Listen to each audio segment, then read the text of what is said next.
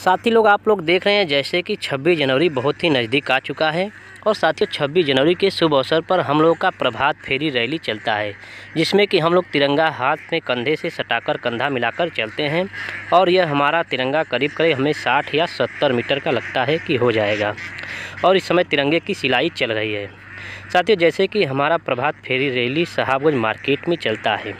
और हमारे ग्राउंड के सभी बच्चे साथ में